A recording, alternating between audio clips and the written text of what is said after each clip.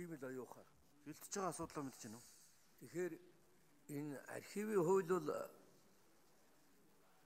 одоо чухал л да. Бид бол архивын талаар бас мундахгүй арга хэмжээ авсан, ихтсэн байгаа.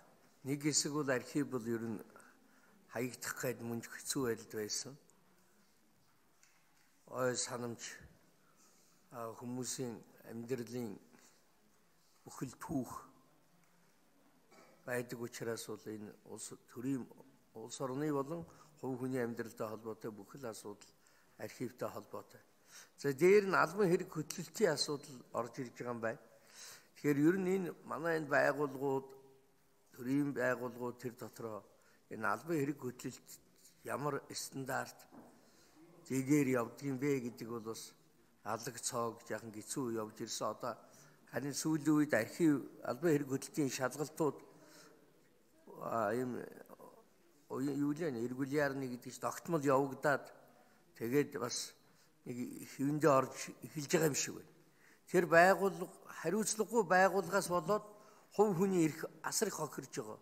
Ийм жишээ бол одоо шүүхтэр тэгээ гурван хүний гэрч гэрч гэрчээр тийм үү баталгаажуулж одоо иргэний хэрэг шүүхэд хянан шийдвэрлэх хуулиар одоо тэр янз бүрийн юмыг тогтоодог хууль зүйн фактыг тогтоодог энэ ажил бол их олон жилийн турш үргэлж ирсэн. Хамгийн одоо энгийн жишээ хэлэхэд бол иргэний бүртгэлийн одоо албан хэрэг хөтлөлт буруугаас болоод сая нөгөө нэг тэтгэврийн асуудлууд яригдахад иргэний үнэлэг солигдоход яригдахад нэг айлын эренцэн гэдэг эренчин гэдэг айлын дөрвөн хүүхэд дөрвөн өөр овгтой. Эренцэн эренцэн эренчин эрен юу лээ?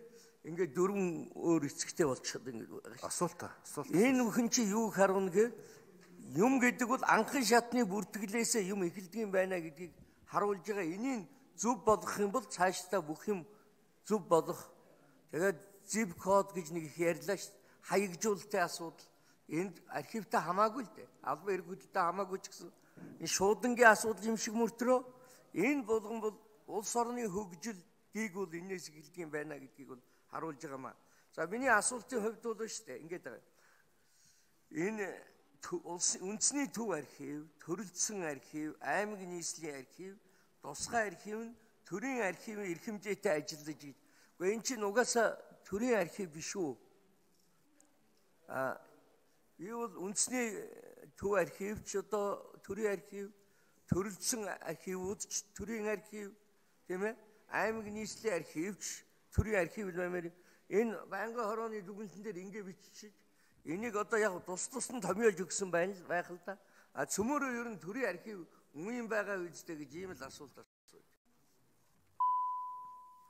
За зоч танилцуулъя. Улсын хурлын гишүүн Жаданбын Батэрдний урилгаар Булган аймгийн Булган сумын улсын тэргүүний 2 дугаар цэцэрлэгийн багш нар улсын хурлын үйл ажиллагаа төрийн ордонтой танилцж байна. Та бүхэнд гишүүдийн нэр өмнөөс эрүүлэн сайн сайхныг хүсээрэй. Батэрдний гишүү анаа.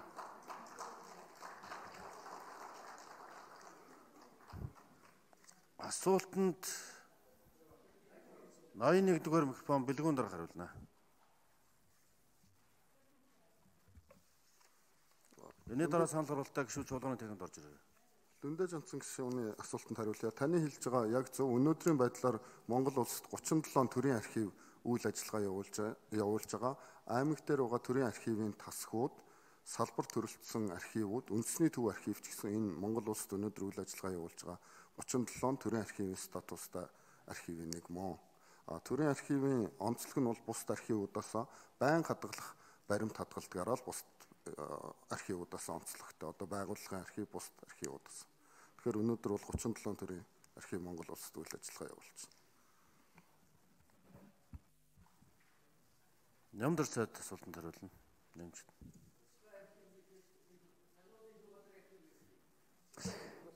Цэргийн архивууд байна, тагнуулын архив байна, гих мэт шүүх мөг прокурор. Аа Би бас энэ хуулийн төсөл хэрэгж хэлцэж байгаатай холбогдуулаад гишүүдэд нэг 1 минутын мэдээлэл өгчэй гэж бодсон. Энэ хууль батлагтаад 20 жил болж байна. За, ер нь бол нэг хаанаас нь ч харсан нэг архив шиг архивтай болчих юмсан гэж бодож энэ архивын газрын шинэ конторыг буян тухайдаар барьсан. Энэ шинэ байр ашиглалтанд ороод бас нэг үеиг бодвол дотоод нөхцөл байдал нэлээд сайжирсан. Хуучнуудын урдны зүүн талын архивд чинь төмбөнтэй ус тавьчаал чигшлтийн зохицуулдаг байлаа шүү дээ. Энэ жилээс энэ солонгосын зээлээр 19 орчим сая долларын өртөгтэй тоног төхөөрөмжийн шинжилт архивдаар хийгдэх юм. Энийг хийсэн тохиолдолд бас нөхцөл нь харьцангуй сайжирна гэж ойлгож байгаа. Цаашдаа энэ цахимжуулах ажил нэлээд хэдэн жил явагдаж байгаа, нэлээд үр дүнд хүрч байгаа гэдгийг бас хэлье гэж бодсон юм. Энэ архивд хадгалагддгүй тэр төрөлжсөн архивууд дотор иргэний бүртгэлийн хуулийн этгээдийн бүртгэлийн архивууд гэдэг энэ бүртгэлтэй холбоотой архивууд байдаг. Энэний байдал нэлээд хүндхэн байгаа. Энэ жилийн төсөл дотор энэ бүртгэлийн байгууллагын ажлын байрны санал та бүхэн дээр орж ирж байгаа. Энэ асуудлыг их хурл шийдчих юм бол эрх хичээл нэлээд шавдуулж энэ асуудлыг зохион байгуулад энэ чиглэлийн архивын баримт бичгийн хадгалалт хамгаалтын асуудлыг орчин үеийн төвшөнд байх ёстой нөхцөлд нь хөргөнэ гэж бодож байгаа шүү. Энийг бас би хэлчихье гэж бодсон.